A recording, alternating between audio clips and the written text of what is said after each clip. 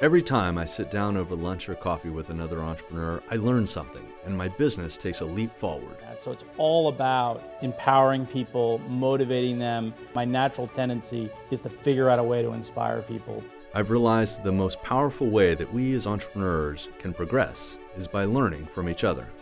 Any new venture, there's this, there's this dip, this chasm, this hard work that has to happen, and you've got to be able to dig your way past that. An entrepreneur is somebody who takes responsibility for outcomes, period. You create all these different ideas knowing most of them are going to fail. When you give someone information, they give it to someone else. We all have successes and failures. It's how we push through those failures and have a vision for the future that will define us. You know, it's when you kind of face a lot of the demons that I, that I believe that we come out of those things stronger.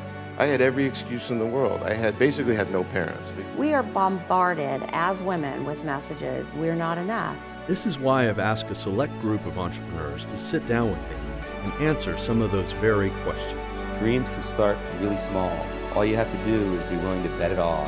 You have so many hours on this earth to make an impact. This is The Curious Entrepreneur.